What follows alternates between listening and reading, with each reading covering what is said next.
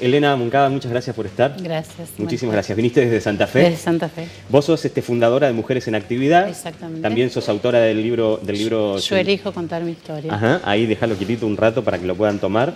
Este, tu caso es muy particular, se hizo conocido en los medios. Sí, Eh, yo estuve 18 años en situación de prostitución. Por supuesto que para, mí la prostitución no es trabajo.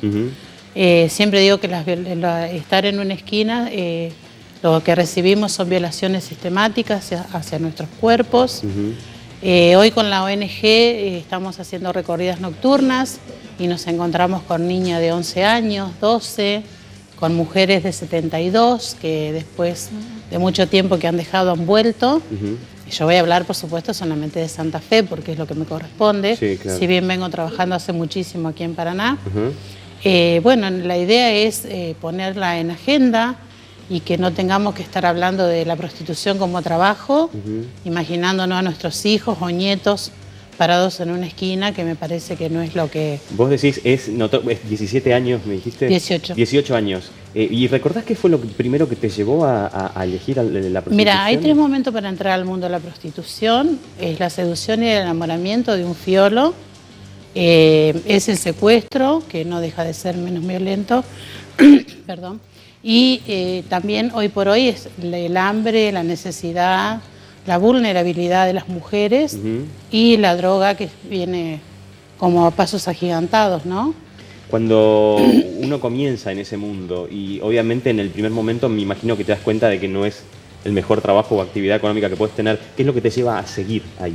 Eh, naturalizas- al natura- al naturalizarlo. Uno naturaliza y a veces de lo que no hablamos, como no hablamos de la palabra prostitución, por lo general, siempre, Como- como- siempre que es, es lejano, ¿no? Hablamos de otros países, de otras cosas, Ujú. qué implementan o qué no, y en realidad no estamos hablando de lo que nos está sucediendo. Las de Santa Fe vienen a Paraná y las de Paraná van a Santa Fe. Sí, Agustina, sí. Intercala, es eso. Hablando de explotación, yo quiero preguntarle a, a Elena.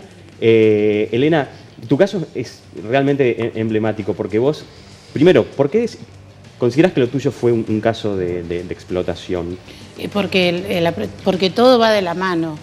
Digamos, seducida, enamorada, como te dije antes, eh, secuestrada o de la manera que se ¿Dónde entra. En esos 17 años me imagino que en varios lugares, pero... Arranqué justamente aquí en Paraná, Ajá. aquí en Paraná, donde había... ¿En la calle? Sí, en la calle. Bueno, después vas conociendo otros lugares y me- viví Tenés agua, ¿eh? Cualquier cosa. Tenés- 23 años en Buenos Aires Sí. Y volví a Santa Fe, eh, de- a mi ciudad natal, Sí. a armar una ONG y hacer lo mismo que habían hecho conmigo. Se- tratar de sacar a las compañeras de un lugar que yo digo que eh, la prostitución y la trata es un hilo sumamente delgado del cual eh, todas las compañeras no tienen el grillete como vemos esas imágenes en la pata de la cama con el pie de la chica. El grillete está acá. No solo eso es trata, claro. Exactamente, o sea, la trata, yo fui tratada de 18 años y fui olvidada por el Estado, porque el Estado está ausente hasta el día de hoy porque no tenemos políticas ¿Qué te pasaba públicas. cada vez que querías salir o intentabas hacerlo?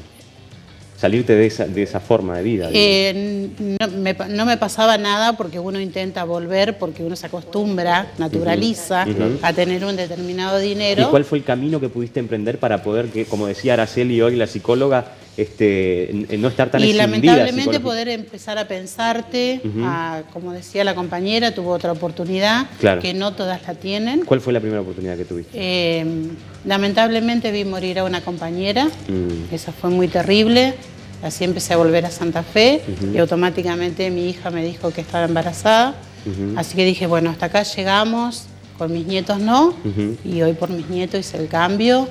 ¿Y, qué te llevó a escribir el, el libro? Eh, al todo lo que se vive en el mundo de la prostitución, por supuesto que no hay morbo, así que no lo compren por eso. No, no, claro. Pero todo lo que te lleva a vivir, Ujú. eh, toda la, la infancia, por empezar, que siempre son, creo que todas acordamos y terminamos diciendo que la infancia es uno de los lugares donde empieza todo esto. Ujú. El 97% a nivel nacional de mujeres y chicas trans en situación de prostitución hemos sido violadas entre los 5 y los 16 años por un familiar directo. ¿Fue tu caso? Fue mi caso.